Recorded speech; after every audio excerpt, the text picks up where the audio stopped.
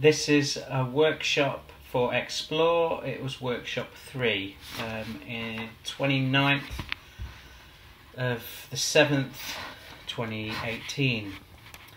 I've got some notes here and then I'll elaborate and try and bring together what I experienced on that day and um, what lessons I've learnt from what was a very challenging workshop. Um, firstly, this was billed as a bonobo experience that would um, become a sexual um, sexual contact experience for the people within the workshop. All of it was consensual. Everybody was very clear about what was going to be um, happening in the space. I talked about consent.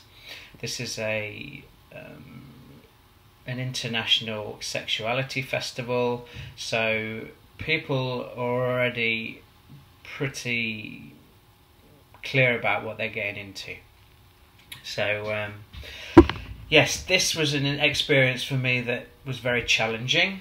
Um, my initial feeling in the room was that um, there was too many males in the space and not enough females in the space.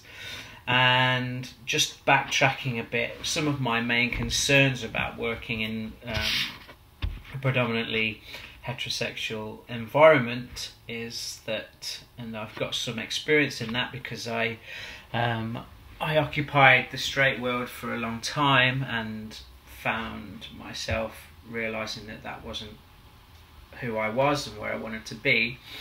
But nevertheless, I felt like these workshops at Xplore would be really important to um, widen people's awareness of the bonobo experience. So, that said, when I found myself in a space that was predominantly, well, two thirds men, I started to find myself reflecting on my main fears about how talking about bonobo culture is to talk about queerness, it's to talk about um, non heterosexual behaviour. Um, so, saying this in a culture that is predominantly a heterosexual culture, and then to say, well, you know, bonobos um, are sexually disorientated, they don't have any particular sort of orientation, that's not something that is a concept for them. Um, monogamy isn't a concept for them.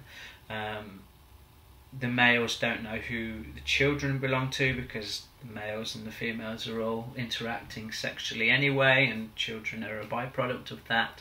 So, in essence, my main fear was that to introduce a queer aspect into a sexually um, incl- sexually positive space where sex was okay and could and does and did happen, I um, recognised the fears that I had around males not really interacting with one another, but moving towards the females in the group.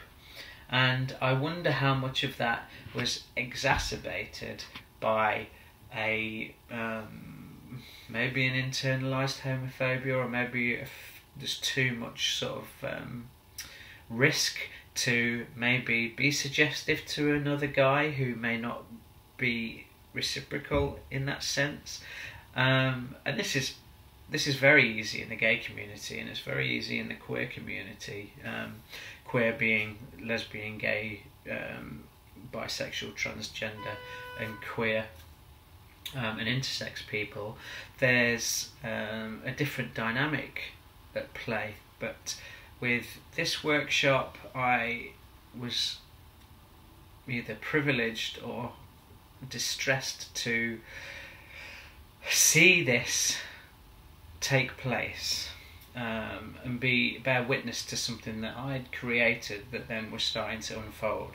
So I recognised that the females were kind of had a lot of attention, and in some cases I felt that maybe they were a bit overwhelmed, and I was very clear um, speaking to the group, but looking at individuals and saying, if you're feeling overwhelmed, move around the room. Don't feel like that you have to sort of like stay in a certain space, and feel, everybody feel into the energy of the, that you're putting out. And are you? Is this consensual? What is happening? Are you in a space where you feel like um, it's clean? You know, we, this is there's a clean energy that's happening. So, on several occasions, I felt like I had to kind of reiterate that that that that um, methodology or idea. Um, a really good thing that did happen was a woman came up to me and said, "What do we do if um, we're getting touched by several people?" Um, and so I introduced um, a hand washing station, antiseptic hand washing station, so that people could um, maintain hygiene when interacting with lots of people. So that was a really important thing. Um, in particular, one woman I could tell was not really comfortable, and when I spoke to her afterwards, she kind of expressed that she was very um, she was not used to being in a heterosexual environment because she was a queer woman so she's much more used to being sort of in sort of non-binary um, much more um, fluid spaces. So this kind of male and female um, environment that was fully charged with lots of males kind of approaching females was something that she found very overwhelming. And she said also because she was Asian, she felt like that maybe she was exotic, so that she was getting a lot of attention.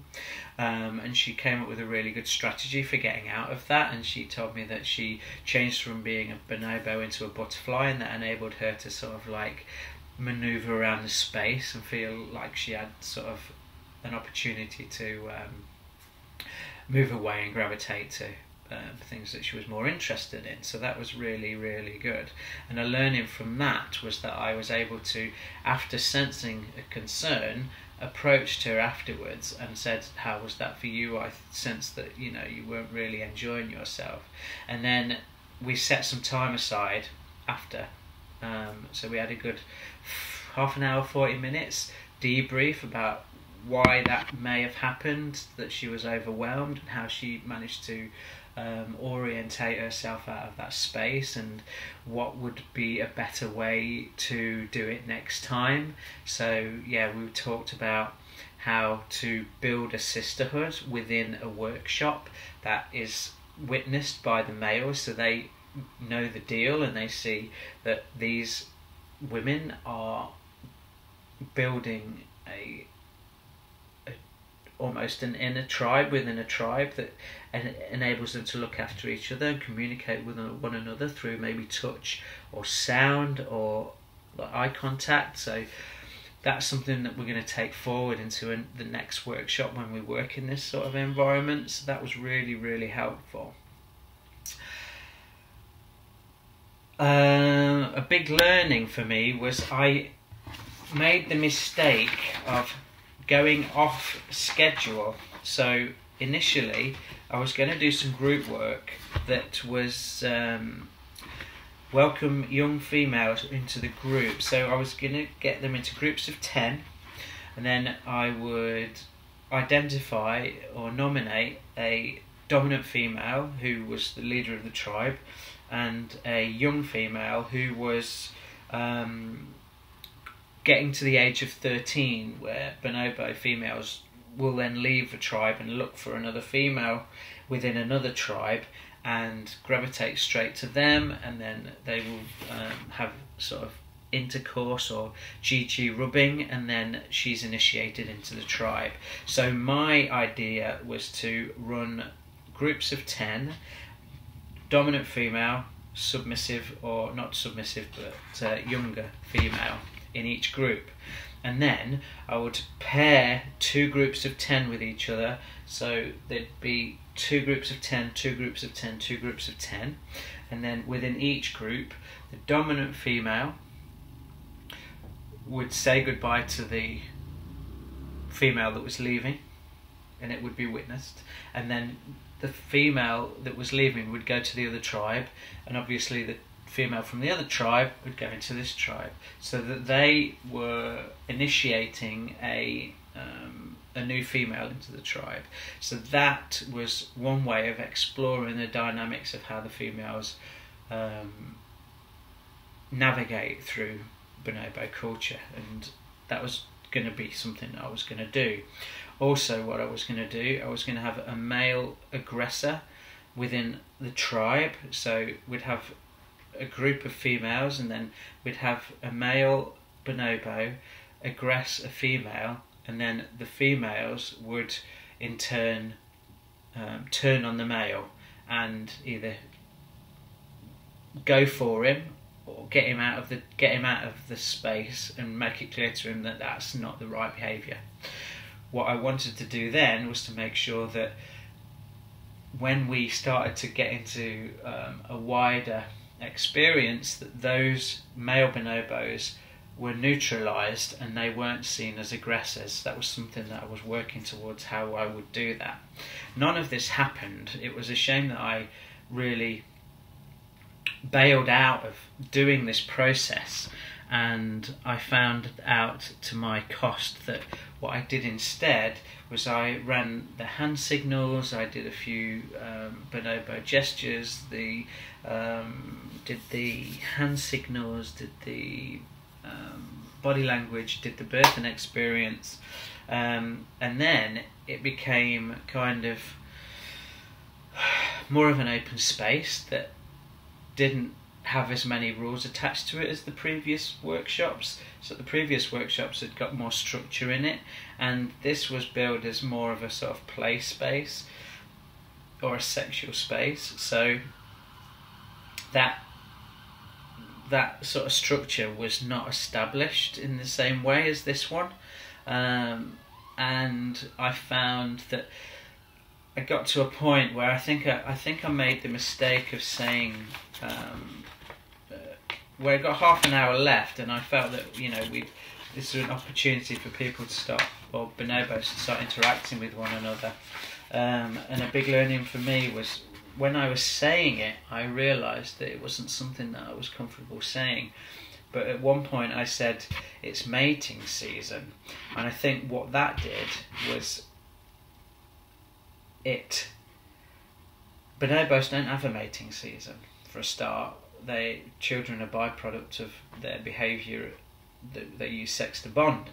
So the idea of mating would is obviously about procreation and not about sort of interacting as bonobos would do and um, saying hi to one another physically or getting angry with one another and then calming each other down. So the idea of saying mating season brought it right into kind of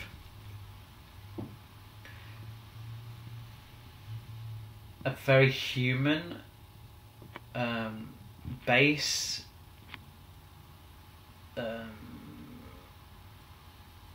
idea from me. I felt like I'd I'd reduced it to kind of like a um, kind of like a carnal um, experience and not one that was more about checking in with one another emotionally and just taking care of one another and you know and, and feeling into the space the idea of saying mating season kind of for me put a complete new slant on the energy and that made me realize that the work that I should have done, which was to like integrate um, the methods in which bonobo females claim or retain their power, was something that I didn't do, and I regret that.